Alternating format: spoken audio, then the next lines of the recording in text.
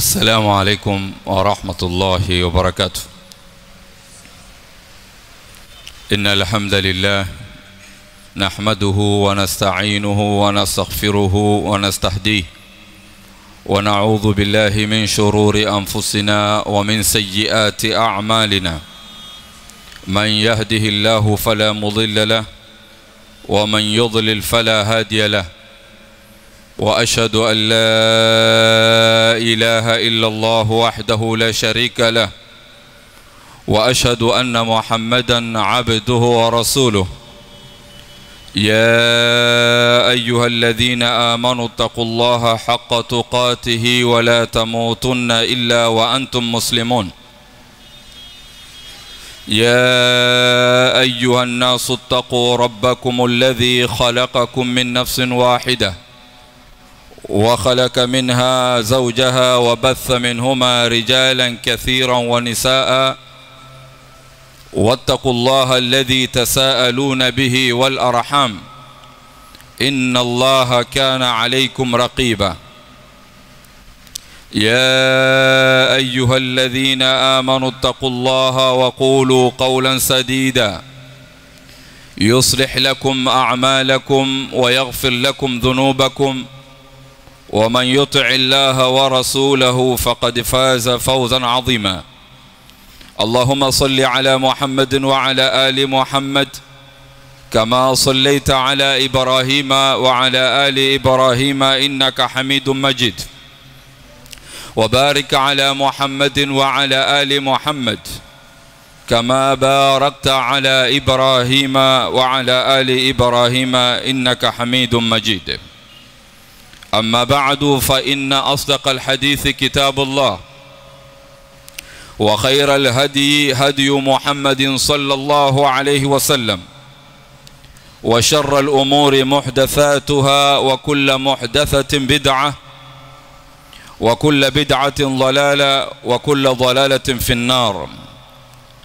ثم أما بعد إخوة الإيمان baada ya kumshukuru Mwenyezi Mungu Subhanahu wa Ta'ala na kumtakia rehma na amani mtume Muhammadin sallallahu alayhi wasallam tukiwa tunaendelea na unwan ujubul iltizami bi shar'i llahi katika liqa iliyopita tumezungumzia fasl ya kwanza ambayo inatoka katika unwani hii kubwa ujubu iltizami bi shar'i llahi na katika hii fasli ya kwanza tumeweza kuzungumzia mabhath ya kwanza ambayo ni mabhath muhimu sana baada shahada an la ilaha illa Allah Muhammadur Rasulullah ikawa ni mabhath ya swala na tukaelezea umuhimu wake na hukumu yake na yale yote ambayo yanafungamana na swala na vile vile tukasimamia katika kuzijua shuruti zake na nguzo zake na vile vile mambo ambayo ni wajib muislamu aweze kuyatekeleza ndani ya swala وقبل أن ندخل في صب الموضوع اليوم تزنغمزيا يالي أمبايو تميازنغمزا مختصر إلي إيواني درسا يكو يكمبوشا يالي أمبايو تلو يزنغمزا مختصر. سيما صالة إنا شروط صالة إنا أركان نا إنا واجبات واجبات. Na katika shurutu tukasema ya kwanza ni alislam. Lazima mtu awe muislam. Ya pili tukazungumzia alaql. Lazima mtu awe na akili. Ina maana swala ya mwandazimu haikubaliwi. Vile vile tukasema albaligh mtu ambaye amebalighi au almumayyiz ambaye ashafika umri wa miaka saba na kuendelea. Sharti ya nne tukazungumzia rafu hadath kuwa lazima uwe tohara umejitahirisha na hadathi ndogo au hadathi kubwa. Na sharti ya tano tukazungumzia izalatu najasa kwamba lazima uiondoshe najisi. Sawaan kana fil badani sawa ile najisi iwe katika mwili au thawb au katika nguo au makan au katika ile sehemu ambayo wewe unaswali sharti ya sita tukasema satrul aura uweze kujistiri mwili wako usiswali uchi ila ikiwa ni mlango wa dharura kwamba huna nguo ya kujistiri kabisa wala katika maeneo kama yale huna hata hizo nyasi wala majani ya miti utaswali hivyo hivyo uchi kwa sababu swala haina udhur kwa yule ambaye kwamba hana nguo ya kujistiri sharti ya saba ni dukhulu alwaqt kuingia kwa wakati. Uswali kulingana na wakati ambao mtume Muhammad sallallahu alaihi wasallam ametubainishia nyakati za swala. Walhamdulillah katika maisha tunayoishi tunakumbushwa na adhani kwamba wakati wa swala ushaingia. Lakini ukiwa filbadia majangwani ni lazima ujue nyakati za swala kama muislamu wala sikubahatisha. Ujue asubuhi inaswaliwa vipi dhuhuri inaingia wakati gani wakati kipindi gani na ikiwa huna saa pia umefundishwa namna ya kupima wakati wa dhuhur. Hizi ni durusa ambazo nilikuwa naongea na la akh Yusuf hapa kwamba lazima muwe na halakati ya durus ya sifatu salah sifa ya swala kwa ukamilifu kuanzia mwanzo mpaka mwisho kujua nyakati zake na yale ambayo mengine ambayo hatutoweza kuyazungumzia katika durusu zetu hizi za Ramadhani. Sharti ya nane istiqbalu alqibla kuelekea kibla na sharti ya tisa an-niyya. Vile vile ikhwata limani tukazungumzia arkan kwamba ni usimame na ikiwa huwezi kusimama uswali kwa kuketi. Ikiwa huwezi kwa kuketi uswali kwa kulala tukazungumza nguzo ya pili takbiratul ihram qira'atul fatiha الركوع الرفع من الركوع السجود الرفع من السجود الجلسة بين السجدتين التشهد الأخير الصلاة على النبي صلى الله عليه وسلم في التشهد الأخير الطمأنينة التسليم والترتيب hizi ni nguzo kumi na nne. Kusimama kupiga takbiratul ihram kusoma suratul fatiha kurukuu kuinuka kutoka kwa rukuu kusujudu kuinuka kutoka kwa kusujudu kukaa baina sajida mbili na kusoma tahiyatu ya mwisho na vile vile kumswalia mtume Muhammad sallallahu alaihi wasallam na kuwa na utulivu na kupiga salam na kufuatiliza hizi arkan kwa mpangilio. Ya kwanza nini? Ya pili ni ipi? Ya tatu ni ipi? Vile vile tukazungumzia wajibat mambo ambayo ni lazima uyatekeleza ndani ya swala nayo ni jamiu takbirat maada takbirat al-ihram. Takbira ya kuhirimia ama takbira ya kuingia ndani ya swala baada ushasimama Allahu akbar. Kisha anasema maada takbirat al-ihram. Takbiri zote. Takbiri ya kwenda katika kurukuu Allahu akbar. Takbiri ya kwenda katika sujudu Allahu akbar. Takbiri ya kuja baina sajdatain Allahu akbar. Takbiri ya kwenda tena sajda. Takbiri zote isipokuwa ile ya kwanza ya kuhirimia swala. Ile ya kwanza ni nguzo katika nguzo za swala. Qaulu subhana rabbiyal azim fi ruku. Ukiwa na ruku ukisema hili neno subhana rabbiyal azim ni wajib. Ni lazima useme katika ruku. Subhana rabbiyal a'la katika sujud ni lazima. Qawlu sami Allahu liman hamidah للإمام والمنفرد. إمام لزيمة أسيمي سمي الله لمن حمده. نيول من يكسولي بكياكي حقوق وجماعة لزيمة أسيمي سمي الله لمن حمده. قول ربنا ولك الحمد. إمام معموم نمنفرد mwenye kusalisha lazima aseme hili neno baada sami Allahu liman hamida anatakiwa pia aseme rabbana walakal hamd. Na maamuma aliyoko nyuma yake anatakiwa vile vile aseme rabbana walakal hamd. Na mwenye kuswali peke yake anatakiwa vile vile kama imam aanze sami Allahu liman hamida kisha yeye mwenyewe pia aseme rabbana walakal hamd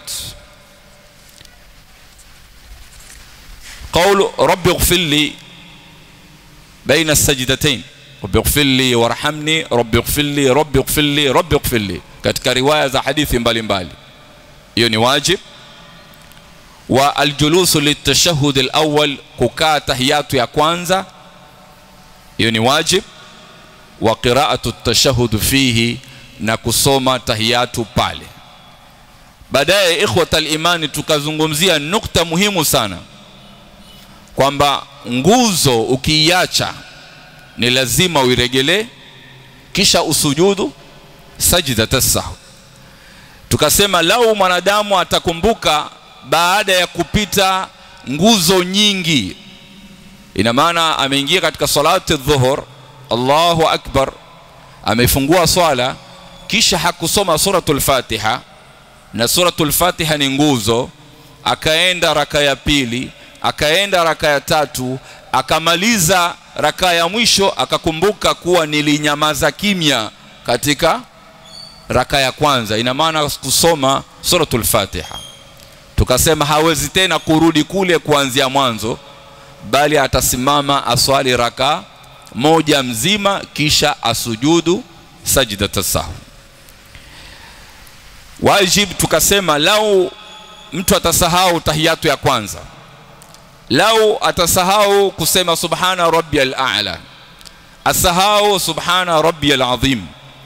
أسهاو كسيما ربنا ولك الحمد. أسهاو كسيما ربي اغفر لي وارحمني وعافني. أسهاو قول يا تكبير الله أكبر الله أكبر. أكي بكياكي.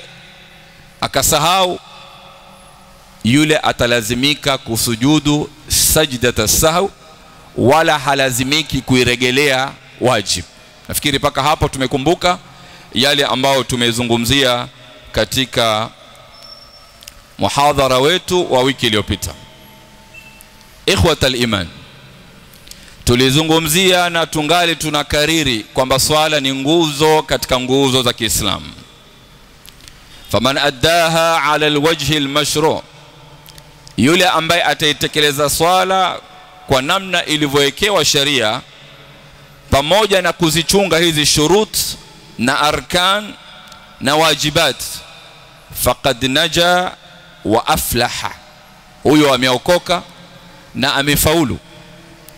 Waman dhayyaaha na mwenye kuipoteza swala akawa haswali ama anaswali bila kutazama shurut wala arkan wala wajibat faqad khaba wa khasira. Huyo amekhasirika ina maana swala yake haiendi mbele ya Mwenyezi Mungu Subhanahu wa Ta'ala.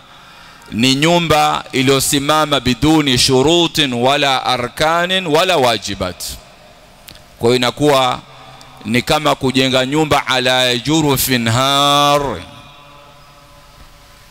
Umejenga nyumba juu ya majivu sio? Utasimama haina misingi bora haina arkani zile pila za kuweza kuizuia ile swala kisawasawa. Wasalatu ikhwata aliman tathiru lilqalbi katika yale ambayo ni makubwa kabisa ni kuwa swala inakutwahirisha moyo na uchafu wa akhlaq kama alivyopiga mfano mtume Muhammad sallallahu alayhi wasallam katika hadithi ambayo ni maarufu mtume akisema araaitum law anna naharan bibabi ahadikum yaghtasilu minhu kulla yawmin khamsa marrat hal yabqa min daranihi shay mtume Muhammad sallallahu alaihi wasallam anatuambia lau mmoja wenu ameruzukiwa na neema katika nyumba yake kuna ufuo wa bahari au pengine kuna swimming pool kwa wale ambao wana uwezo wamejenga majumba yao sampuli kama hiyo au mbele yake kuna mto kama anavyosema mtume akawa anaoga katika mto kama ule mara tano kwa siku. Hal yabqa min daranihi shay. Je kweli kutabakia uchafu katika mwili? Asubuhi amioga dhuhur akaoga asri akaoga na isha na maghrib. Je kweli mwili utabakia na uchafu? Sisi tukioga nafikiri mara mbili sio? Sabaha ila al-amal kwenda kazini warujuu min alamal umekuwa ume kuwa na taharuk kule umetembea huku na kule joto ukija ukajiburudisha na maji. Lakini mtume akwambia hamsa marat unaoga mara tano. Kama kwamba ile sabuni ishamalizika kwa siku moja sabuni moja imekwisha. Hal yabqa min daranihi shay mtume anauliza je katika mwili kutabakia uchafu? Mtume akasema hivyo hivyo ndivyo mfano wa swala. Swala ikiwa itaswaliwa mara tano yamhu Allahu bihinna alkhataya. Mwenyezi Mungu anakuondoshea yale madhambi na machafu. Kwa moyo utatwahirika. Akisema moyo ndio kila kitu. Moyo ndio waziri wa viungo vyote. Kwa unapotekeleza swala katika faida kubwa hii ambayo mtume anaitaja katika hadithi ni kuwa nyoyo zitasafika na uchafu na hikdi na bukhul na hasad wa min kulli radhail. Kila aina uchafu utasafishwa na swala. Ndipo pale tukasema katika liqa iliyopita ikiwa kweli waswali akhi muslim swala tano na swala lakini bado hujabadilika uko vile vile katika maumbile yako. Hasadi unayo ubakhili unayo hiqd kibr unadharau watu mchafu badhiul lisan basi jua bado swala haijakutengeza kabisa. Ikhwata liman mlango wa swala ni mlango mkubwa sana. Tumejua shurut tumejua arkan tumejua wajibat na kuna mambo ambayo yanafanyika ndani ya swala lakini hatuyajui ndio wiki iliyopita sikutoa nafasi ya suali kwa sababu darsa inaendelea kuhusu swala. Sasa leo insha Allah baada ya kuyamaliza haya ndo utaniambia swala lako limejibika kabla hujauliza au bado unahitaji kuuliza swali. Swala vile vile kuna sunan. Mbali na wajibat mbali na arkan na kuna sunna ziliomo ndani ya swala na sunna kama hizi wanazuoni wa kisheria katika fiqhi wameigawanya katika sehemu mbili. Sehemu ya kwanza sunna muakkada kalwajib wa sunna ghair muakkada kalmustahab. Kuna sunna ambazo zimesisitizwa na kukotezwa kwamba ni lazima uzitekeleze. Mfano wake kama zile wajibat. Wa na baadhi ya wanazuoni wa kifiqhi hizi sunna muakkada wamezihesabu moja kwa moja ni katika wajibati zile ambazo tumezitaja. Qaulu sami Allahu min alhamida qaulu rabbi ighfirli warhamni qaulu eh, rabb, subhana rabbi alazim. Wakazitia ni katika as-sunna almuakkada. Tukitaja yale ambayo hayako katika wajibat na ni sunna muakkada ni qiraatu sura au surataini min alquran alkarim au aya au ayatain baada qiraati alfatiha. Hiyo ni ya kwanza kabisa.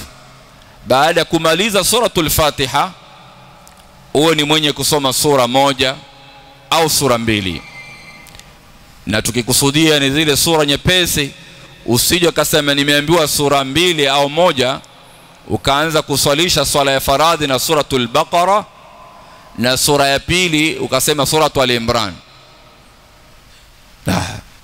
bila shaka ukipiga salamu utabakiwa na ule aliyekukimia swala sio? Kad qamati sala kwa sababu mtume Muhammad sallallahu alaihi wasallam ashatufundisha yasiru yasiru wala tunafiru fanyeni wapesi wala msikimbize watu sio? Sauti yako mzuri ya kusoma kweli alhamdulillah tunaburdika arihna ya bilal.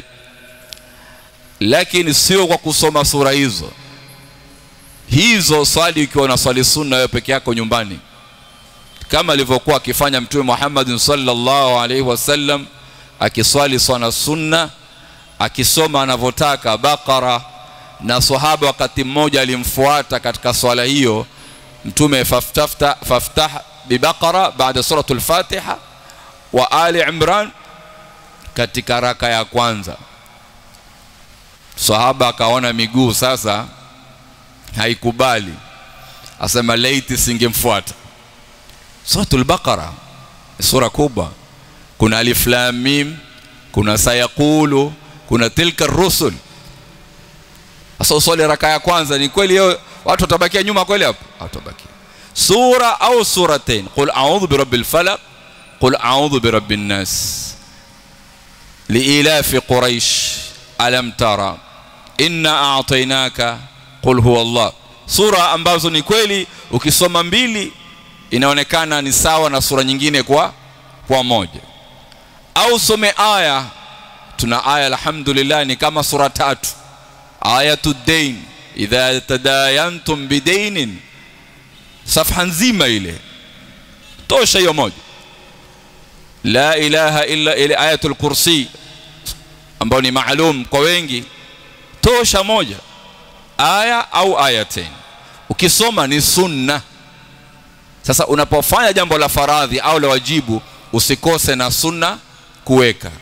Wala tusizoee shortcut kwamba oh kumbe hii kusoma suratu ya pili baada ya suratul fatiha ni sunna. Na sunna mimi najua ukifanya utapata thawabu hukufanya hupati dhambi. Kwa hivyo shortcut. Wala amin. Allahu akbar. Ni imamu pengine wewe utakuonesha watu kwamba ni vizuri sunna tuifanyie kazi. Walau fi sana marra. Japokuwa katika mwaka mmoja wako ufanye mara moja basi ngoja niwafundishe watu sunna. Waladhalin amin. Watu wasubiri waambia allahu akbar. Umeenda katika kurukuu kwa nini wewe ukifanya biashara ya laki moja wataka laki moja na elfu ishirini? Wataka faida? Mbona useme arabi nipe zile zile laki moja yangu? Wataka faida. Na faida ya wajibu ikiwa ni nguzo umeitekeleza faida yake ni hii kusoma sura ya pili. Nafikiri tumeeleza kaida ya hadithi ya mtume inayosema na kaida kama hii imehusiana na swala.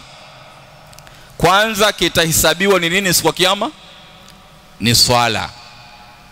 Mwenyezi Mungu awaambie angalieni mahali ambapo kumepungua katika swala ya faradhi ya mja wangu hal min tatawu je kuna sunna sunna tuchukue tujalize hapa? Hii ni kaida ama katika hadithi ya mtume.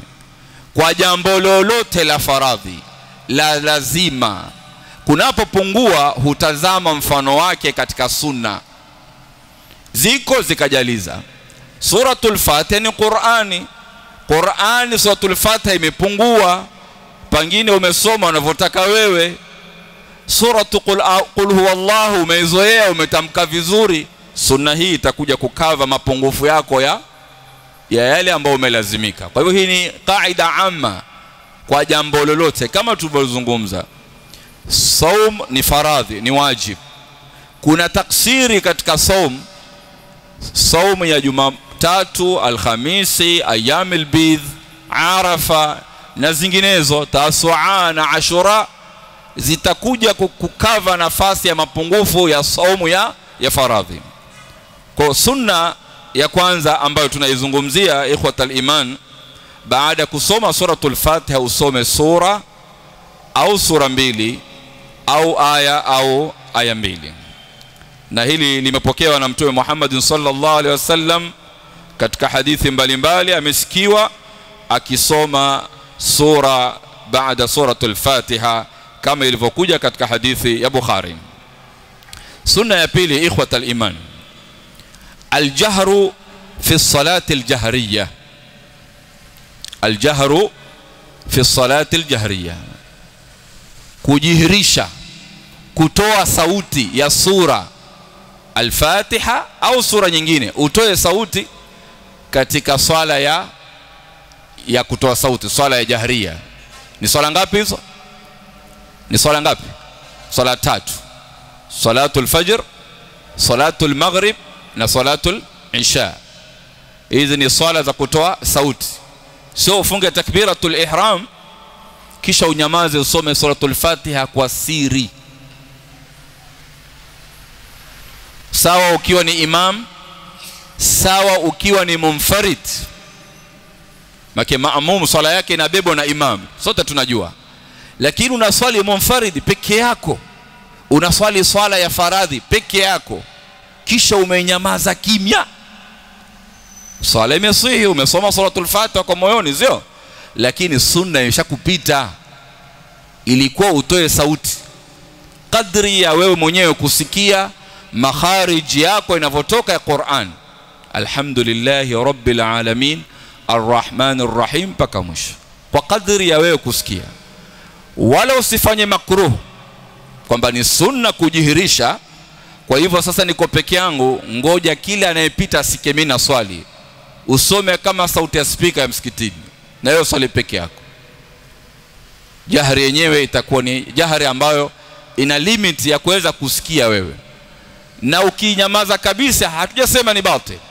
Au swala imeharibika umekosa sunna umeleta rukni kwa moyoni umesoma suratul fatiha kwa siri mahali ambapo wewe unatakiwa utoe kwa kwa sauti.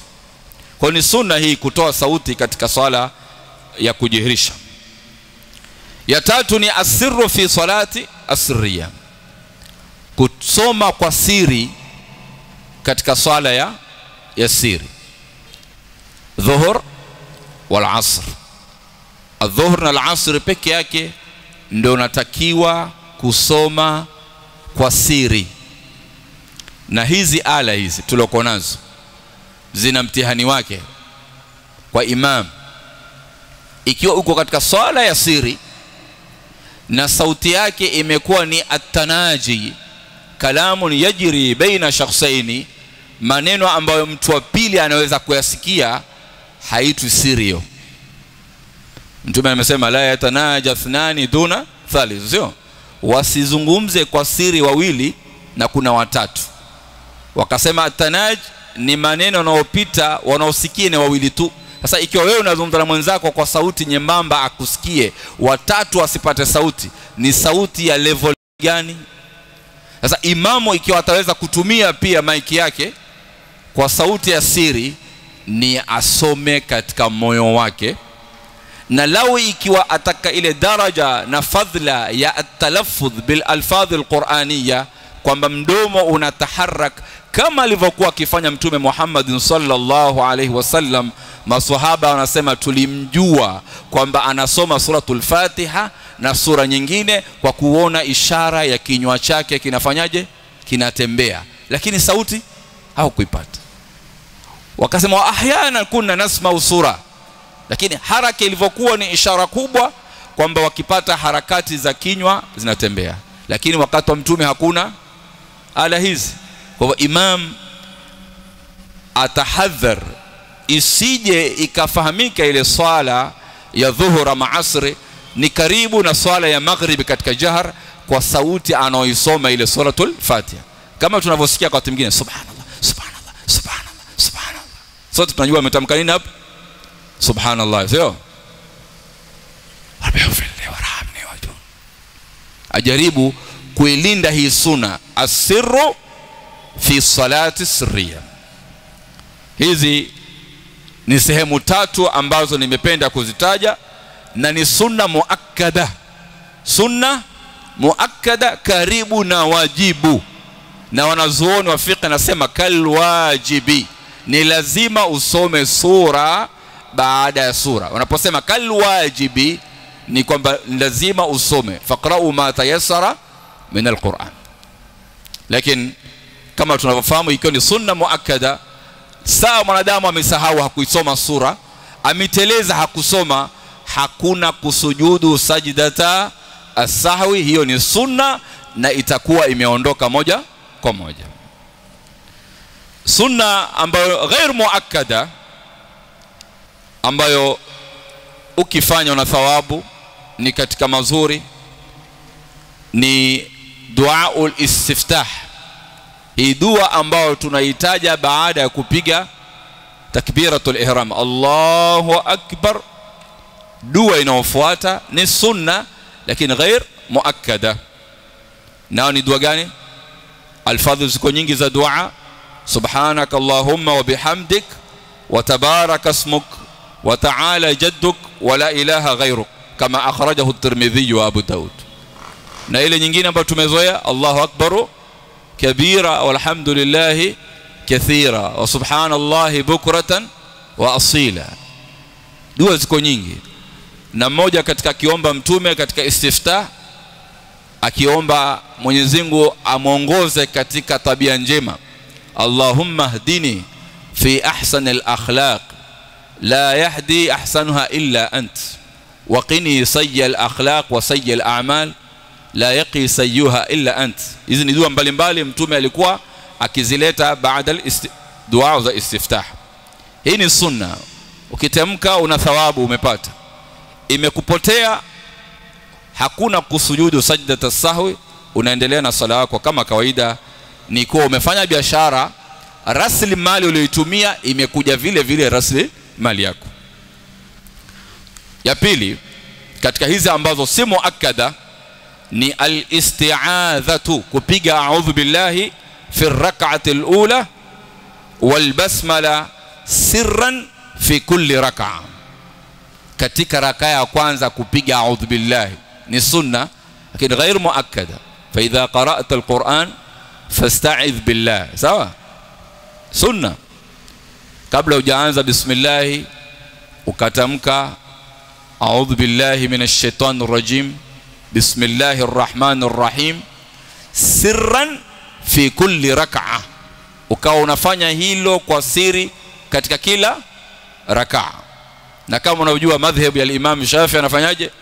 Anasoma kwa kwa sauti bismillah kwa hiyo ni sunna kupiga a'udhu billahi kwa mujibu wa aya fa idha qara'ta alqur'ana fasta'idh billahi minash shaitanir rajim ya tatu raf'u alyadaini hadwa almankibain kuinua mikono miwili ukielekea mabega mawili usiinue Allahu akbar mikono ala fauqa ras Alimamu Shafi akasema vidole vya ibham vielekee nyama za masikio. Umeona bado iko chini pia, lakini haijapita haijapita juu. Kwa kuna kuelekeza hapa hadhul mankibai na masahaba wa mtume Muhammad sallallahu alayhi wasallam miongoni mwao ni Ibn Umar fima akhrajahu at-Tirmidhi wa Abu Daud wa Ibn Majah أن النبي صلى الله عليه وسلم كان إذا قام إلى الصلاة رفع يديه حتى يكون حظو منكبيه. قول ابن عمر صحابي جليل أما يي أليسفك وكمويجيز أمتوم محمد صلى الله عليه وسلم katika kumfuata katika athari za mtume katika sunna Ibn Umar alikuwa ni wa kwanza. Mpaka siku moja anaulizwa akiwa amepanda ngamia anatembea Madina. Katika mji wa Madina anatembea na ngamia wake. Aulizwa ni vipi mbona unatembea? Akasema la'alla naqata khufata naqati huenda kwato kwato za ngamia wangu zinatua juu ya kwato wa ngamia wa nani? Wa mtume Muhammad sallallahu alaihi wasallam wanaweza wanasema hii ni ishara ya ashaddu ittiba alikuwa akimfuata mtume sana. Mtume alikuwa akitembea na kusalimia ummati wake. Na yeye akawa hivyo hivyo anatembea anapopita kwa Islamu assalamu alaikum wa rahmatullahi wa barakatuh. Sasa ibn Umar atuambia kana idha qama ila sala mtume alikuwa akisimama katika swala rafaa yadaihi anainua mikono yake hata yakuna hadhwa mankibei ikiwa inaelekea mabega yake mawili. Thumma yukabbir kisha anapiga takbir. Tazameni hii tartib. Rafaa yadaihi hatta yakuna hadhwa mankibeihi thumma yukabbir. Kisha ndio fanyaje upiga takbir. Sio Allahu akbar. Tumefahamiana eh kwamba takbiri imekutoka mapema lakini hata mikono bado haija haijakwenda na thumma litartibi watarahi katika lugha za, za, za nahu hii thumma thumma thumma zina maana yake. Arsala llahu Musa thumma Isa thumma Muhammad. Haya tafsiri sasa. Mwenyezi Mungu amemtumiliza nani? Musa thumma Isa kisha akamtumiliza mtume Isa. Ni hapo kwa hapo? Thumma hii ni hapo kwa hapo? Litartib watarahi mpangilio kwamba ni fulani kisha ni fulani. Kisha tarahi ni kuchelewa. Kam sanawat? Musa alisimama katika da'wa mpaka Musa kufa kuja Isa. Kam sanawat? Isa kulingania katika da'wa mpaka kufa aje mtume. Kwa thumma hii ni tarahi kwa na hapa twapata mtume aliinua hadhwa mankibeihi thumma yukabbir. Kisha anafanyaje? Anapiga takbir. Fa idha arada an yarkaa akitaka kurukuu rafa'ahuma. Mithlu dhalik anainua tena vile vile. Allahu akbar. Sasa hapa ndio ikakuja ile ile ile ile kauli ya kwamba nipige takbiri kabla sijakwenda kule ama nipige takbiri nikiwa niko kule. Ndio pale wakaanza kwamba ikiwa anapiga takbiri kisha anainua tayari utaona kuna wenzetu katika hata sajida sio? Mjaona? Akiinuka rafa kwenda anasema Allahu akbar. Unaona eh? wanachukua dalili na shahidi katika hadithi kama hizi. Anaposema ibn Umar fa idha arada an yarka'a dhalik wa idha rafa'a ra'sahu min ar-ruku'i rafa'ahuma kadhalik wa qala sami'a Allahu liman hamida rabbana walakal hamd kwa mikono inainuliwa na baadhi ya wanazuoni wanasema hii ni ahadithi iliyopokewa na Ibn Umar peke yake ndio kaona baadhi ya wetu hawafanyi hizi wanasema hadithi ya mmoja huingia shaka katikati baina ya ukweli lilothubutu ama halikuthubutu. Miongoni mwao ni madhehebu ya al-ahnaf. Nafikiri mnawaona wanapoingia katika swala katika takbiratul ihram Allahu akbar ndio hiyo hiyo moja kwa moja. Hakuna tena zile za kuinuka za kwenda. Basi kwa sababu hii ni hadithi ya ahad. Lakini nauliza swali qaul ya ibn umar qaul ya sahaba ni dalil au si dalil? Ni dalil. Ikiwa ni dalil lazima iweze kutumika. Na yule aliyebakia na shaka kwamba la haithubutu katika madhehebu yetu hadithi iliyopokewa na mmoja mpaka wewe watatu mpaka wengi ni elimu yao wallahu a'lam na ijtihadi yao. Wala hufai kufanya radde ukasema ni makosa ukianza kufanya raddi utatia ta'wili. Ina maana nyinyi mnamshuku ibn Umar? Ina maana ibn Umar alikuwa si mkweli? Mtume Muhammad sallallahu alayhi wasallam ametuwekea wazi. Unapopata dalili imethubutu basi ni sunna kuifanyia kazi. Na ikiwa moyo wako una shaka baina ya kuthubutu dalili au kutothubutu basi acha da ma yaribuka ila ma la yaribuka ya nne qaulu amin kusema amin ni sunna lakini ghairu muakkada sio kwamba ni lazima imesisitizwa imesisitizwa la ni sunna. Ukitikia amin una faida kubwa sana. Na faida hii tutakuja kuieleza. Mtume Muhammadin sallallahu alayhi wasallam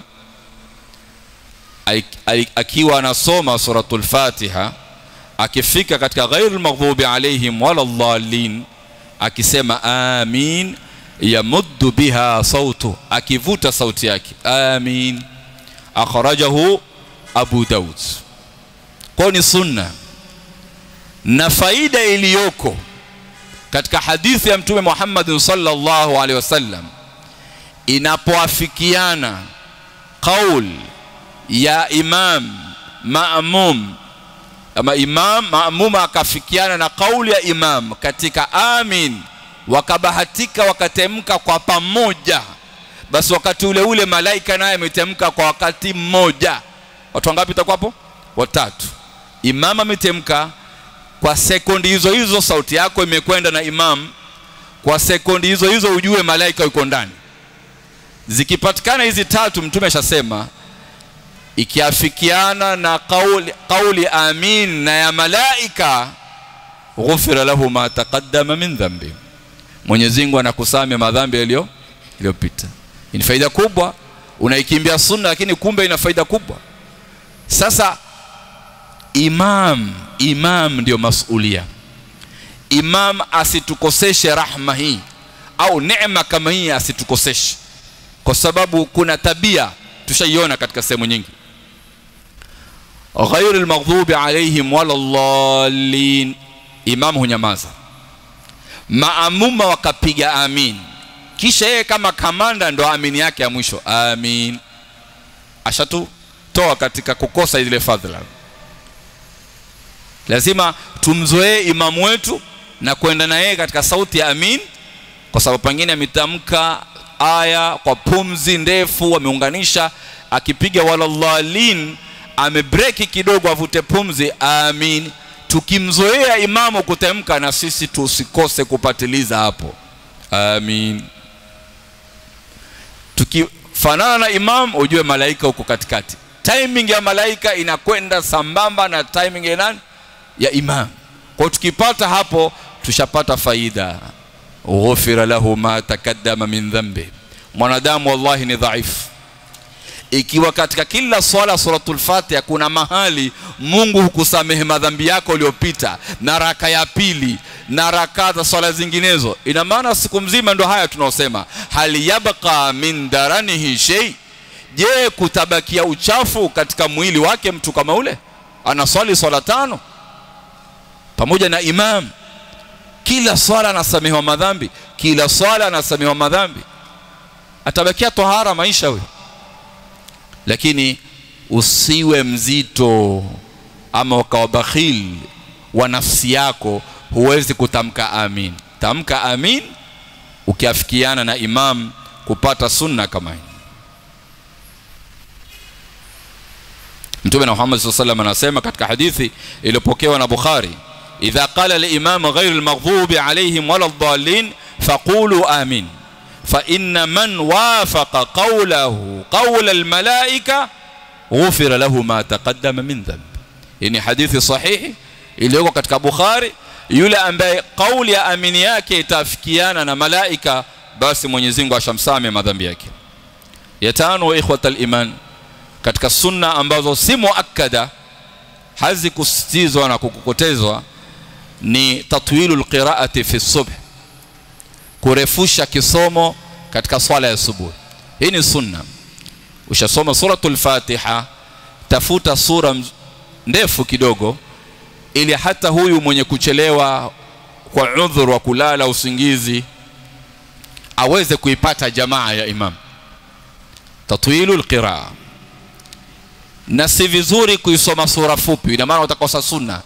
Haimaanishi kwamba swala haitosihi maki wazee wetu nauliza hata mwingine kwani hii inna atainaka alkauthar fasalli li rabbika wanhar inna shaniaka huwa alabtar si sura mbona muisomi ina maana salatu alfajiri pia inatakiwa isomwe hivyo kwa mafumu yake asome suratul fatiha imamo asome inna atainaka alkauthar raka ya pili asome wal asr innal insana la fi khusr illa alladhina aondoke mbio so wataka kuwahi sio anakuuliza si sura? Ni mfano wa ndugu zetu katika salatu tarawih wanaposoma kuirejelea suratul ikhlas. Baada kila sura suratul ikhlas baada kila sura suratul ikhlas wanakuuliza suratul ikhlas si sura katika Qur'an? Kisha wewe unaipunguza hadhi suratul ikhlas hii inaitwa thuluthul Qur'an. Thuluthul Qur'an mimi nasoma thuluthi nzima nikisoma qul huwallahu moja nimesoma juzu kumi. Na qul huwallahu raka ya pili nisasoma kumi. Na raka ya tatu nikisoma qul huwallahu nishasoma juzu ya 30 haje katika swala 20 nimehitimisha miswafu mara ngapi? Yako mafumu kama hayo kwamba hizi ndogo si sura ni sura. Lakini wa khairul hadi hadi Muhammadin sallallahu alayhi wasallam. Ni swala gani mtume alikuwa akiswali sura fupi na ni swala zipi mtume alikuwa akiswali sura ndefu? Kwa katika sunna hapa tunapata salatu subh mtume alikuwa akisoma sura ndefu. Wa taksir fil asri wal maghrib na akisoma sura fupi katika swala ya magharibi na alasiri. Watawasut na kati na kati baina ndefu na fupi katika salatu al-isha wa salatu dhuhur na hii ni dalili anna umara kataba ila abi musa an iqra fi as-subhi bitiwali al-mufassali واقرأ في الظهر بأواسط المفصل واقرأ في المغرب بقصار المفصل رواه الترمذي سيدنا عمر بن الخطاب رضي الله عنه alimwandikia Abu Musa kwamba swali kwa namna hivi na Umar anaposema swali kwa namna hivi amepata wapi mafundisho haya? Kwa mtume Muhammad sallallahu alaihi wasallam. Akimwambia swali swala ya subuhi ukitumia sura ndefu ndefu. Na uswali swala ya dhuhuri ukitumia sura zile ambazo ni za katikati. Ina maana ndefu wala si fupi. Na usome katika swala ya magharibi biqisari almufassal sura fupi. Haimaanishi kwamba akisoma sura ndefu katika magharibi swala haijasihi swala imesihi lakini ameacha nini? Ameacha sunna. Ameacha sunna. Kwa baada ya suratul fatiha atazame zile sura fupi. Amezoea yeye ni hafidh bikitabillah ataka kusoma juzu kubwa. Haimaanishi basi ni sura nzima. Hata zile kubwa pia atachagua aya au ayatain aweze kupima kipimo cha sura ndogo ama sura fupi atumie mfano ule ule kwa sura ambayo ni ndefu lakini kwa aya mbili au aya tatu ili aweze kupata sunna katika swala. Ya sita ikhwat aliman hayatul julus alwarida anhu sallallahu alayhi wasallam ni namna ya kukaa katika swala namna ya kukaa katika swala mtume Muhammad sallallahu alaihi wasallam ametufundisha na vikao vilioko katika swala ni vikao viwili peke yake hunaka aliftirash watawarruk aliftirash watawarruk iftirash ni kukaa sampuli gani na atawarruk ni kukaa kwa sampuli gani iftirash ikhwat aliman هو أن يجعل باطن رجله اليسرى وينصب اليمنى. هذا يسمى الافتراش. والتورك هو أن يجعل باطن اليسرى تحت فخذ اليمنى ويجعل أليته على الأرض. Hayuko leo hapo aliftirash ni ule mguu wako wa kushoto. Ina maana ukiuzungusha tunafikiri tutafahamiana eh? ukakalia pale kisha wayansibu rijlahu alyumna mguu wako wa kulia uweze kuusimamisha na ikiwa wengine hawakubali kwa matatizo ya viungo aweze kufanya kunyosha asiukalie barakallahu fik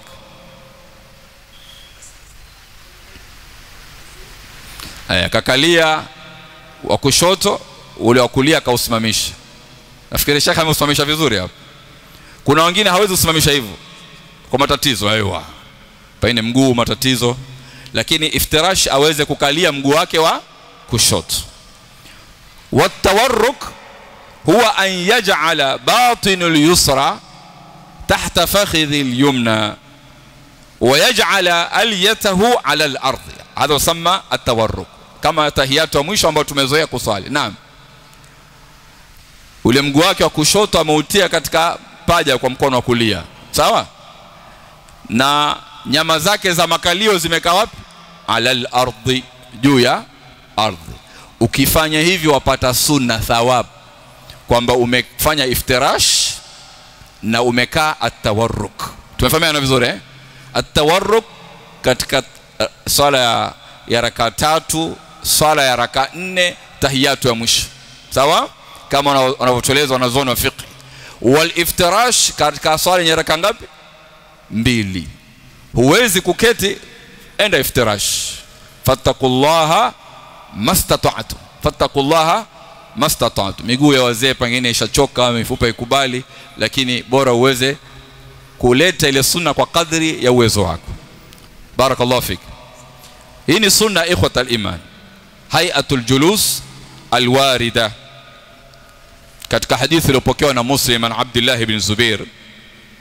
كان رسول الله صلى الله عليه وسلم إذا قعد يدعو وضع يده اليمنى على فخذه اليمنى ويده اليسرى على فخذه اليسرى وأشار بإصبعه السبابة ووضع إبهامه على إصبعه الوسطى wayulqimu kaffahu lyusra rukbatahu. Hadithi hii inatufundisha ikiwa tumekaa katika iftirash au tumekaa katika tawarruk, hii mikono yetu tuiweke vipi? Hii mikono yetu tuiweke vipi? Kwa tunapata katika mafundisho ya Mtume Muhammad sallallahu alaihi wasallam, wadaa yadahu lyumna ala fakhidhihi lyumna, mkono wake wa kulia anaweka juu ya paja lake kwa mkono wa kulia kwa mguu wa kulia. Wa yadahu yusra ala fakhidhihi al-yusra. Kisha wa ashara biisba'ihi as-sababa anaashiria kidole chake. Wa wadaa ibhamahu ibhamahu ala isba'ihi alwusta katika kidole chake cha kati na kati. Sababa ameshiria ibham hii gumba ameshikilia kidole cha katikati. Sawa? Wayulqimu kafahu lyusra rukbatahu. Na huu mkono wa kushoto unakwenda kuzunguka paja. Kwa lakmi ishazunguka paja maa rukba. Ile goti liloko pale mkono unazunguka. Sio basti juu. Naam tafadhali habib. Bast ni kwamba unanyosha peke yake juu kale kama kwamba mkono uko katika paja peke yake haujakuja lakm sawa? Eh lau samaht ka, ka, ka ile iftirash yako kawaida. Iftirash yadu al-yumna ala al-yusra. Aywa wa yushiru bis-sababa aha. Na kushoto ala fakhidhihi wa yulqi. Ukiregesha nyuma zaidi huku pajani itakuwa umenyosha hupati nafasi ya ya kuzungusha. Haya ni katika sunna katika swala. Nafikiri tumefahamiana vizuri? Ya saba katika sunna addu'a fi sujud. Ndio nikasema mtaniuliza swala mpaka nimalize swala yangu yote. Utajua jawabu nalo ama bado hujapata jawabu. Addu'a fi sujud. Mbali na subhana rabbiyal a'la subhana rabbiyal a'la subhana rabbiyal a'la imethubutu kuomba dua na dua iliyoko katika sijda ni dua makbul. Mwenyezi Mungu uko karibu zaidi na wewe. Usikose kuleta dua hapo. Na ikiwa hukupita zile dua zitakazoe kibinafsi basi ni ajuaye Mungu moyoni kwako wataka nini. We nyamaza tu. Lakini Mungu ajua hiyo dua yako waogopa kwamba lao utoe mara wanza Kiswahili chako na katika swala imekiwa sheria kwamba ni kwa Kiarabu. Kwa hivyo usije ukasema ewe Mwenyezi Mungu ya kuelea. Ukasahau hiyo dua yako. Ikiwa haipati kwa huipati lafdhi ile kwa Kiarabu ama huwezi kuitungia sentensi kwa kiarabu pitisha dua ile katika moyo wako. Waipata? Patiliza. Allahumma inni as'aluka husna alkhatima inda almaut allahumma kama siku hizi tunataka baba rayyan sio allahumma adkhilna babaka rayyan eh allahumma ighfirli warhamni ni dua unaweza kuzileta kule mbali na ile subhana rabbiyal a'la na pengine kama utakumwombea mzee wako pia ni dua mashru' Mtume Muhammad sallallahu alaihi wasallam anasema ala wa inni nuhitu an aqra alqur'ana raqi'an au sajida nimekatazwa kusoma Qur'ani nikiwa nimerukuu au nimesujudu Qur'ani ndo nimekatazwa fa amma ar-rukuu fa'azzimu ay qulu subhana rabbiyal azim lakini anasema wa amma sujud fajtahidu fi du'a jitahidini kuleta dua katika sajida faqaminun ay fahaqiqun an yustajaba lakum hilo ni hakika. Faqaminun ay haqiqun an yustajaba lakum. Haya. Mtume anatuambia ni hakika hilo kujibiwa. Sasa wewe unachelewa. Wataka shortcut. Subhana rabbiyal a'la subhana rabbiyal a'la subhana rabbiyal Allahu akbar. Rabbi ighfirli subhana rabbiyal a'la subhana rabbiyal a'la subhana rabbiyal tulia pale Allahumma bika sajadtu wa bika amantu. Dua mbalimbali uzilete na zinginezo. Uweze kuinuka. Hizi ni sunna. Sio kwamba hukuzileta una dhambi ama utaharibika na sala. Ah umefanya la wajibu au biashara ya rasilimali kisha biduni faida. Umerudi na mzigo wako vile vile. Shilingi elfu moja umetoka nao umeenda sokoni jioni ukipiga hesabu ni ile ile elfu moja yako. Bila shaka utajiuliza sio si biashara tena ni hasara basi mfano huo huo ni katika swala pia fanya la wajibu ingiza na la sunna ndani yake ije ikusaidie addu'a fi at-tashahhud al-akhir kusoma dua au kuomba dua katika tahiyatu ya mwisho ni sunna ushamsalia mtume Muhammad sallallahu alaihi wasallam وبارك على محمد وعلى آل محمد كما باركت على إبراهيم وعلى آل إبراهيم إنك حميد مجيد umemaliza kuna dua so salamu moja kwa moja Allahumma inni a'udhu bika min adhabi jahannam ala tartib alhadith اللهم إني أعوذ بك من عذاب جهنم ومن عذاب القبر ومن فتنة المحيا والممات ومن فتنة المسيح الدجال كما ilivyokuja katika lafdhi ya hadithi ya mtume Muhammad sallallahu alaihi wasallam e Mwenyezi Mungu najilinda kwako na adhabu ya jahannam najilinda kwako na adhabu ya kaburini ya fitnati almahya walmamat wakadhalika min fitnati almasih ad-dajjal ni dua mbali na hizo Allahumma ighfir li ma qaddamtu wama akhartu wama asrartu wama a'lantu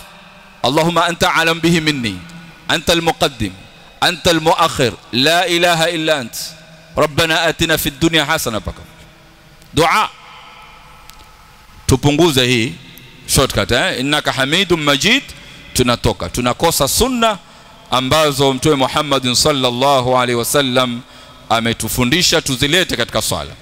Sunna ya kumi ambazo si muakkada ni atayam bisalam atayamun bisalam kwanza kutoa salamu kwa mkono wa kulia. Hii ni sunna. Wa kana an-nabiy sallallahu wasallam yujibuhu atayammum mtume alikuwa akipendezwa kila kitu yeye kuanza sehemu ya kulia. Kwa anza salamu kwa mkono wa kulia. Assalamu alaikum wa rahmatullah ambayo salamu ni ruknu min arkanil as-sala ambayo ni nguzo katanguza sala kule kuanza kwako kulia ndio sunna. Kule kuanza kwako kulia ndio sunna. Ina maana kuna wenzetu hufanya hivi waiacha hii sunna. Swala haijaharibika atapiga salamu lakini hakuanza kulia bali ameanza katikati. Nafikiri tunaona pengine kuna maiki imepigiwa stampu pale haitaki kuondoka na yeye ataka sauti itoke. Assalamu alaikum wa rahmatullah. Assalamu alaikum wa rahmatullah. Apigania nini? Spika ataka sauti itoke iache spika anaenda sunna. Huwezi kutanguliza spika ukaacha sunna akakosa thawabu. Assalamu alaikum warahmatullahi kulia. Assalamu alaikum warahmatullahi kushoto. Nafikiri tumefahamu sema ah, shekhe ametaja salam. Kule ni nguzo. Hapa tena salama ah, hapa sunna ni kuanza kwa upande wa kulia. Lafdhi ya neno assalamu alaikum warahmatullahi ni nguzo si tumesema swala inaanza na takbiratul ihram inamalizikia na salam. Nafikiri tumefahamiana eh? taib. Nini nafuata baada hapo? Ni ataslimatu thaniya an yasarihi ambayo ushaichanganya kana nabii alayhi wasallam an yaminihi wa an yasarihi hatta yura bayadha khaddihi. Mtume alikuwa akipiga salamu mpaka ukionekana weupe wa taa zake hizi. Sasa hapo ni dalili ya kufundishwa hupigwa vipi hiyo salamu. Kwa hiyo ikiwa alikuwa akipiga salamu mpaka akionekana hizi weupe wa taa zake akipiga salamu akiwa ameelekea mtume? La. Assalamu alaikum wa rahmatullah. Sahaba aliyoko nyuma ashamwona sawa? Assalamu alaikum wa rahmatullah. Aliyoko nyuma ashaona.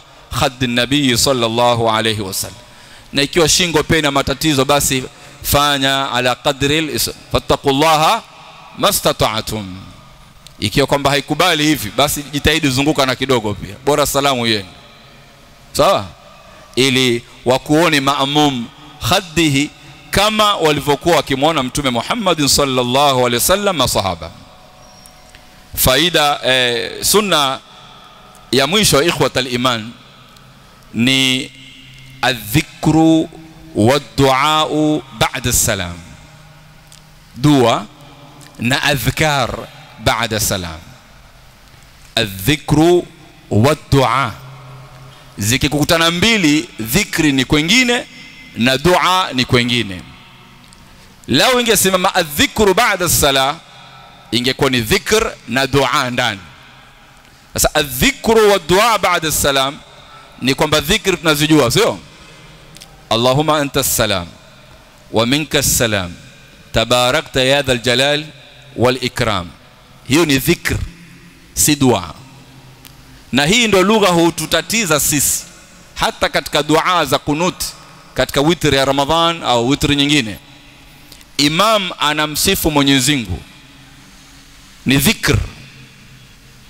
Allahumma iyyaka na'budu wa laka nusalli wa nasjud وإليك نسعى ونحفظ. نرجو رحمتك ونخشى عذابك. إن عذابك الجد بالكفار ملحق. ما مو سما آمين.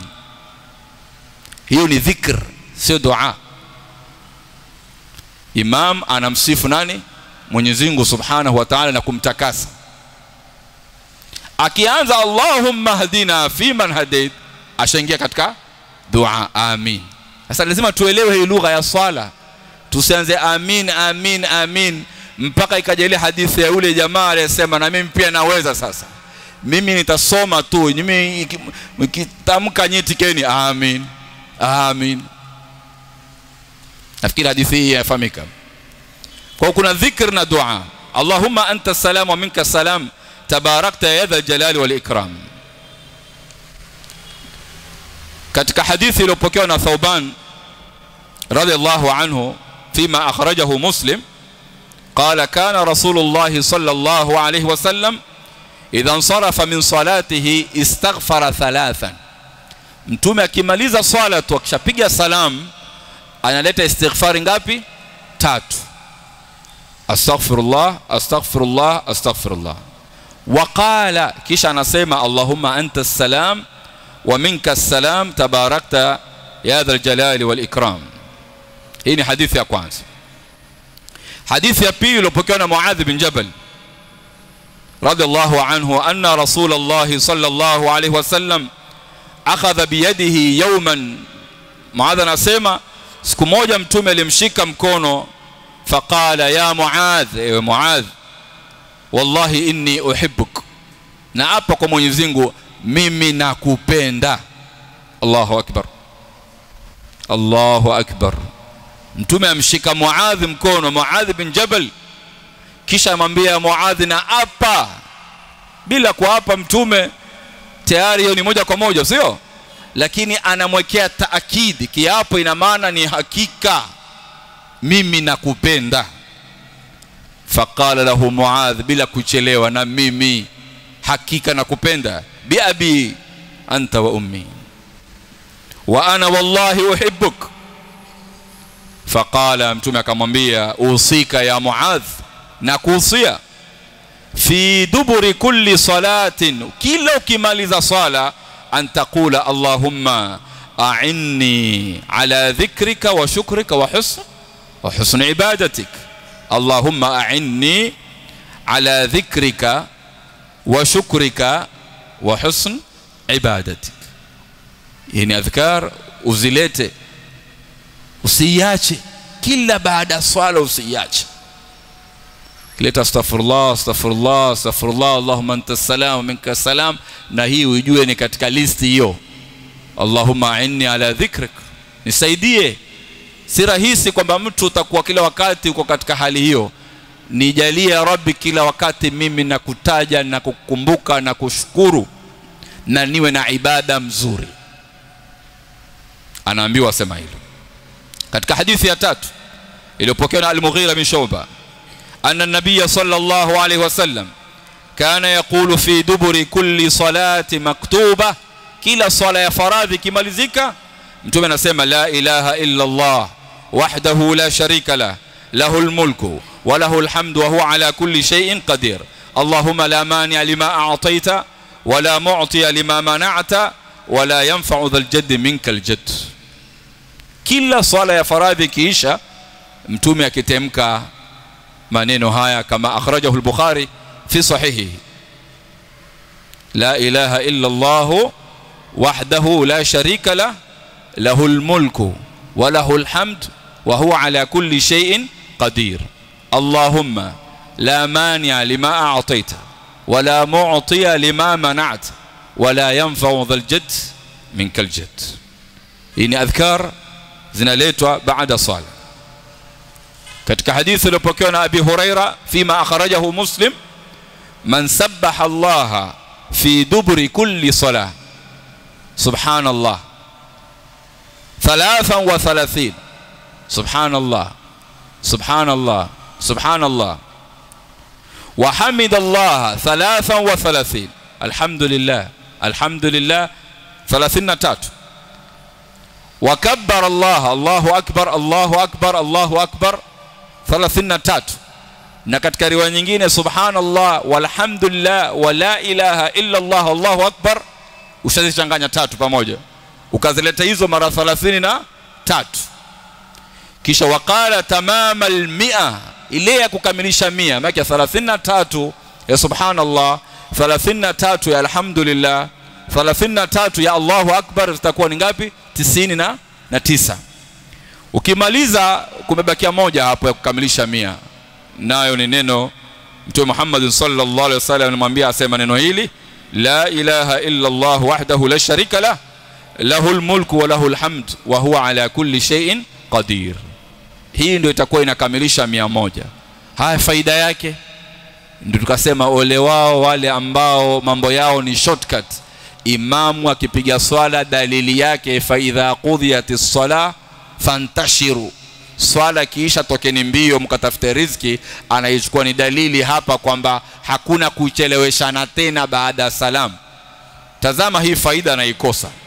Mwenye kusema hizo subhanallah 33 Al alhamdulillah 33 Allahu akbar 33 ya mia la ilaha illa Allah wahdahu la sharika lah lahu mulku wa lhamdu wahuwa wa ala kulli shay'in qadir.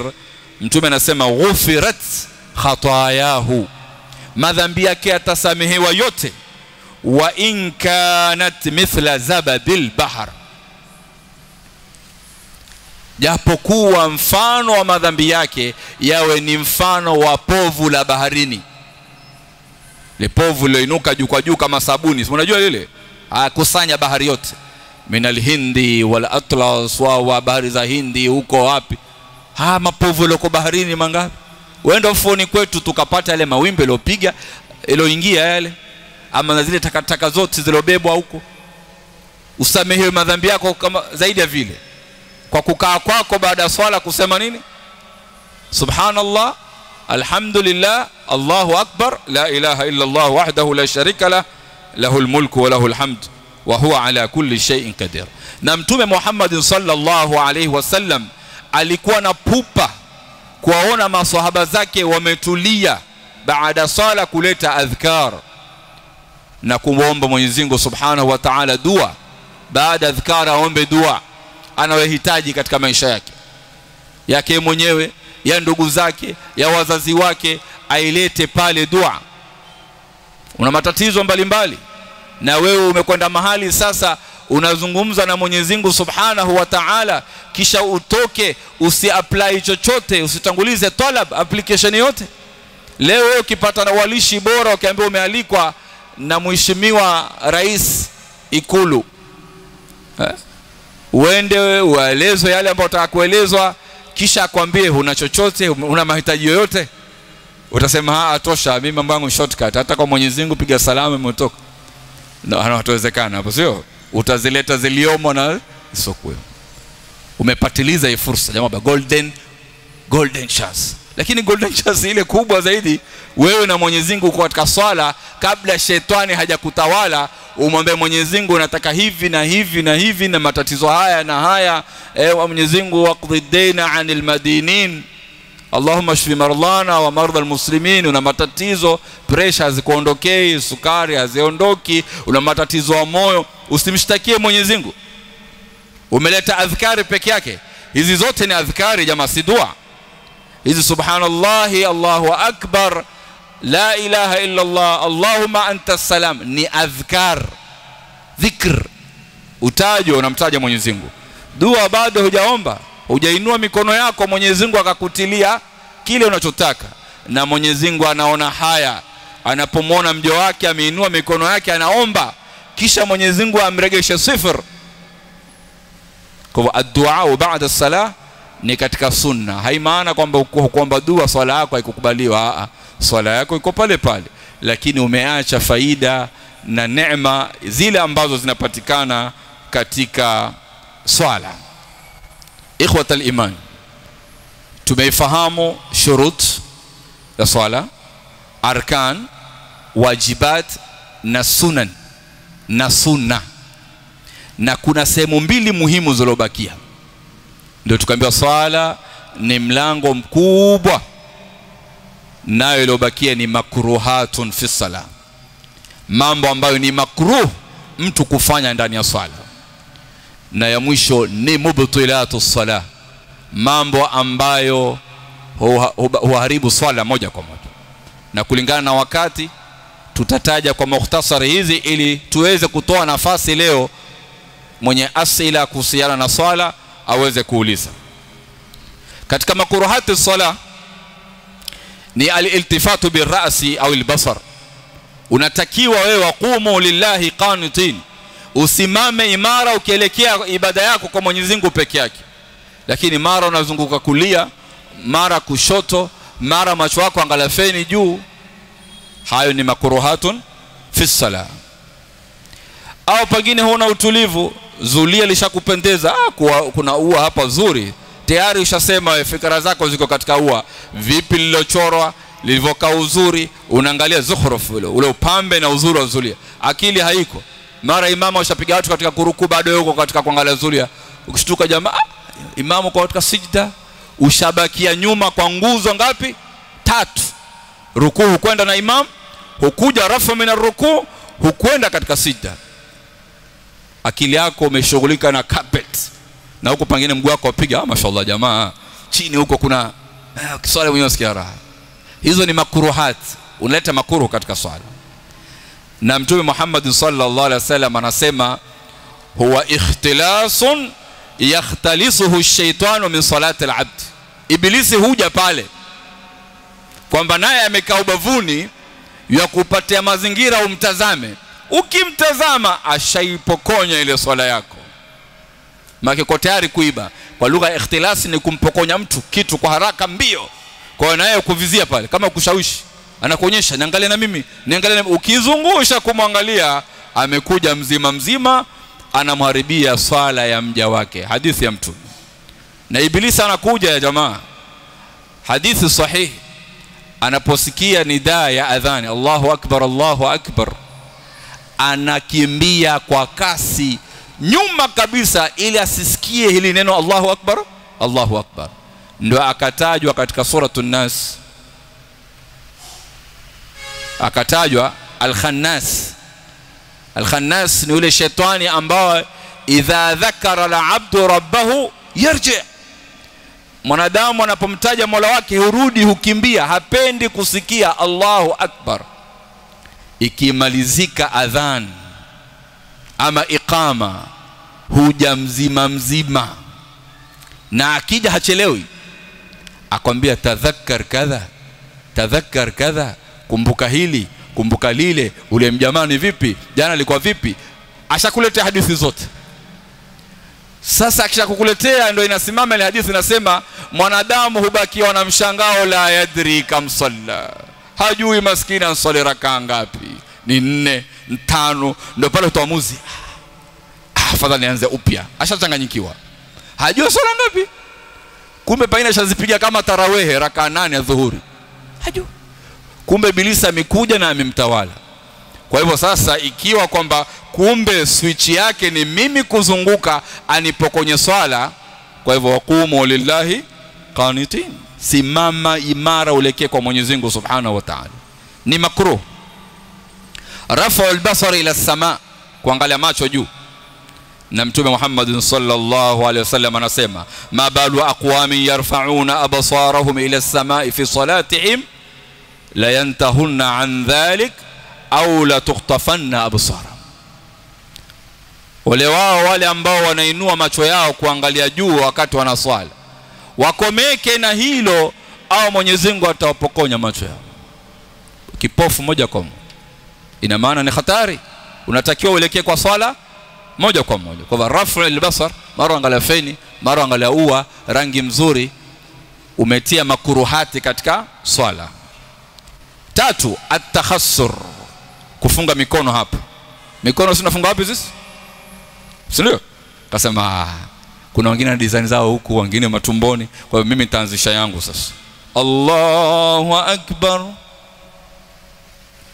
التخسر وهو وضع اليد على الخاصرة لقول أبي هريرة رضي الله عنه نهى النبي صلى الله عليه وسلم أن يصلي الرجل مختصر unafunga mikono yako hapa na hali ya kuwa wewe uko katika ibada ya swala lakini sasa shibhi yako inaonekana kama kwamba jamaa atazama mahala kwa mshangao kuna jambo amefurahishwa nalo. Au pengine katika riadha jismia badania uko katika mazoezi ya fizikali. Ya nne ambayo wengi kati yetu hawaijui. Make hizi tushazoea kwamba hatufungi hapa lakini hii ya nne karibu sote tunayo hiyo tabia. An yakuffa almusalli mastursila min sha'rihi au kumma. Ikiwa na nywele zako kubwa umeziachilia lakini sasa nataka kuswali sasa unafanyaje?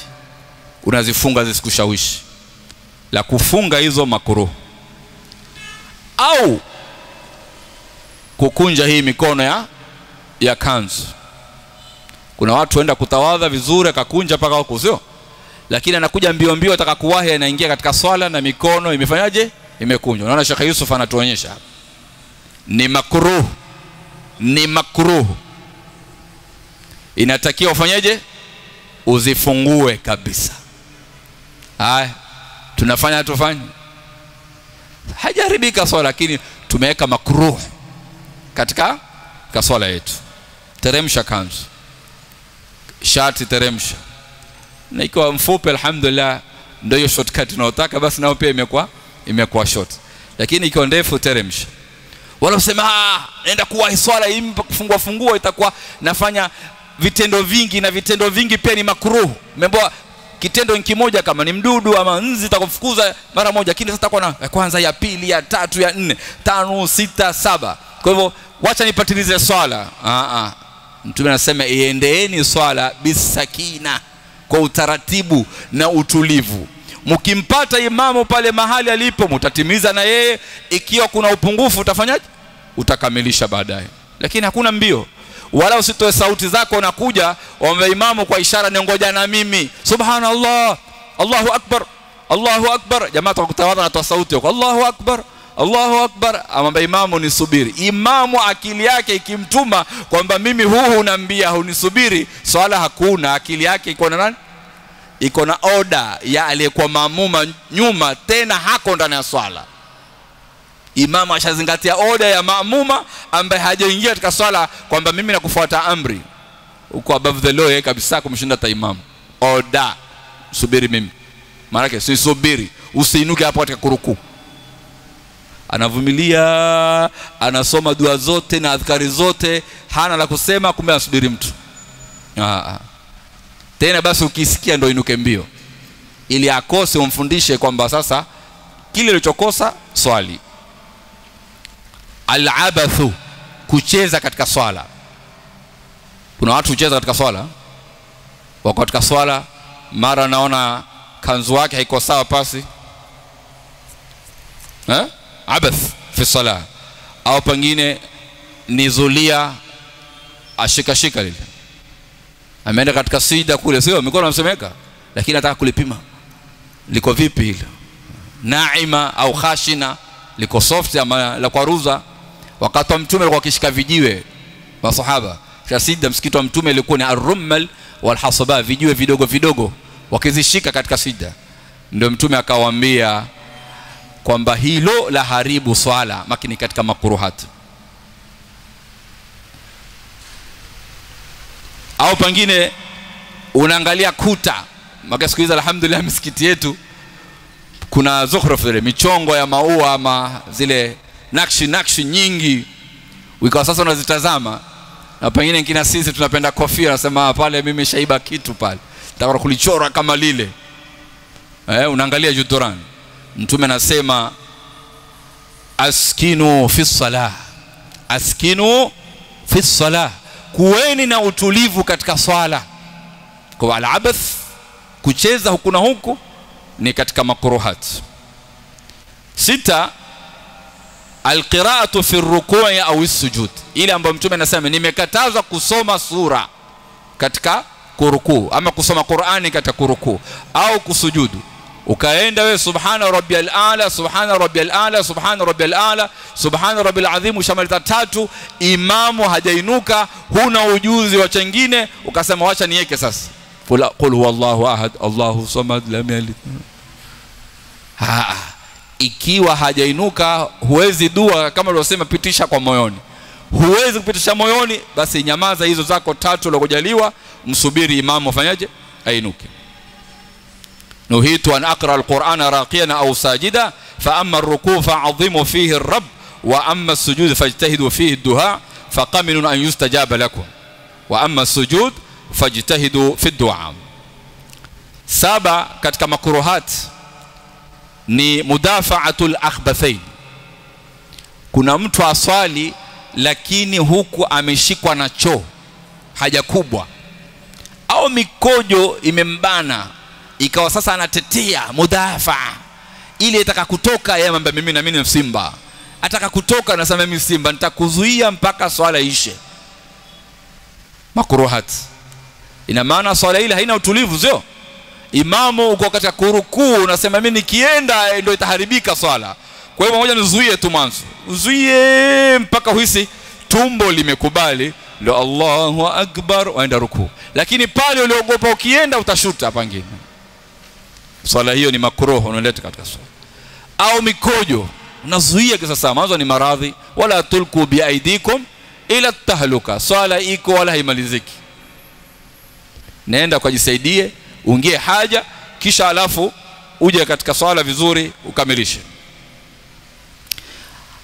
As-salatu bihadrati at-ta'am.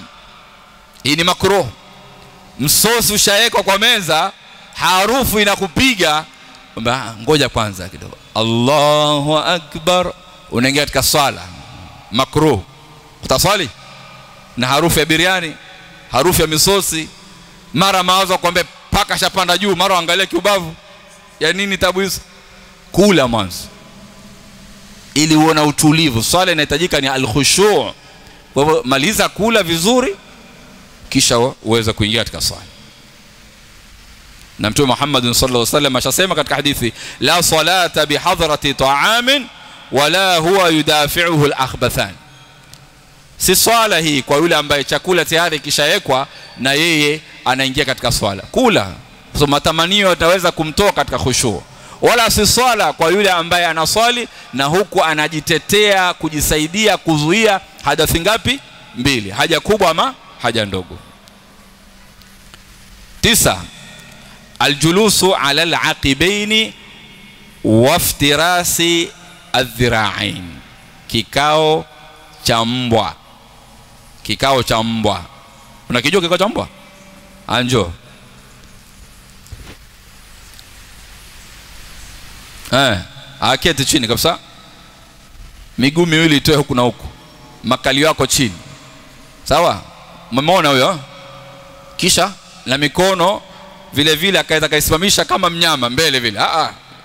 Mbele. Kwa hapo hapo katika sijda yako hapo. Baina baina rijlin mbwa anavokaa mbwa anavokaa Sheikh Yusuf. Mbali itakuja hiyo. Itakuja mba kuna ya hiyo na kuna na hii. Mbwa iko amekaa anakaa vipi? Miguu anaitoa kando kuna huku alafu na mikono anaisimamisha pale ndio bado hujaniwekea mikono anavyotakiwa mbele eh eh eh mashaallah barakallahu fik sawa hii haitakani mzee anasema yeye katika sijida itakuja kana rasulullah sallallahu alaihi wasallam yanha an aqabati shaitan الجلوس على العقبين وينهى أن يفترش. وينهى أن يفترش الرجل ذراعيه افتراش السبع ndio hiyo sasa yako ya pili katika sajida tumefundishwa vipi tukae asujudu ala sab'ati na kuna wengine sasa wanazidisha baada ile saba ilikuwa ni hii alkaf waljabha ma alanf warukba na miguu sio atraf alqadamain akatuwekea nyingine nao ni akazidisha haya sasa ushaifahamu ni ipi ushaifahamu mikono kuilalisha chini asaqata sajda haya. Naam. Hiyo ameilalisha mikono yake wapi? Katika mswala. Katika makuruhati sala haia ambayo ni sahihi ya kusujudu ni hii peke yake na tukasema hizi zinatoka si ndio? Taib.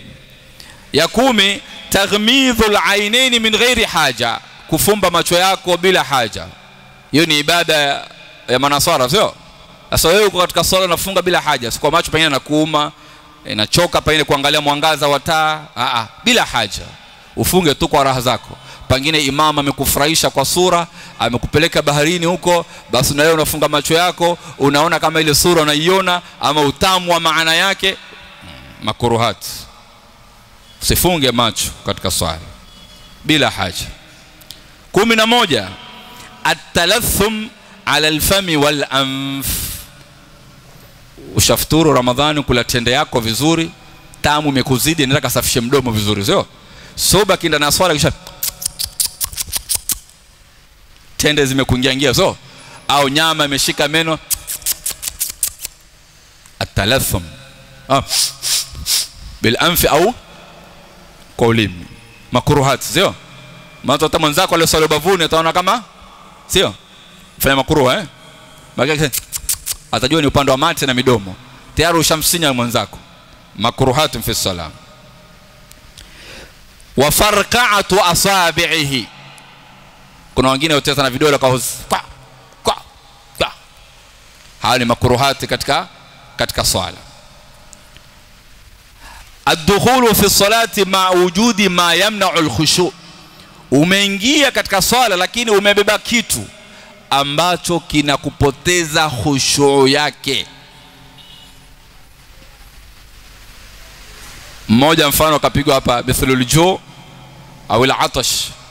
Uangie katika swala lakini umebeba kitu ambacho kinakuzuia khushu una njaa una kiu taban ili kwa mwanzo utafute riziki yako ukule upate nguvu katika ibada. Una kiu utafute maji ukunywe ili upate utulivu katika swala au sio choo ni upepo tu gesi limejaa ihtibasu rih. Umeingia lakini unajua mimi na gesi nyingi sahihi kwa hivyo lazima nikiingia nitapambana na hii balaa. Kula maharage imeshuka mbavu vizuri. Sasa waingia katika swala lakini tayari ushabeba gesi ambayo inakuzuia khushu katika swala. Jitibu mwanzo. Kama hali ubofe switi zako upepo utoke kisha uje katika swala swala yahitaji utulivu. Askinu fi sala kuweni na utulivu katika swala. Haya na zama zetu kuna na hii sasa. Imebidi hata imamu sasa atangaze aseme baada istau watarasu yarhamni yarhamukum eh sawu sufufakum. Anazidisha neno anasema wa aghliqu jawalakum. Nafungeni simu simu zenu. Ni chombo sasa tunabeba tumeingia katika swala na kitu ambacho kinatuharibia khusho ni makruh. Na pangine maskini ni mgeni hajui hata kuizima simu. Alaka ni sheria sema leo kuna masala. Hajui kuizima inafanya tashwishi. Unasumbua wenye kuswali. Wengine wameweka adhkar wengine wameweka music wengine ndo hizo midundo ya siku hizi. Kwa hivyo tusiingie na swala katika hali kama hiyo ikhwatal aliman tumebakisha mubtilatu sala mambo ambayo yanaharibu swala na sote alhamdulillah tunajua yale ambayo yanaharibu swala.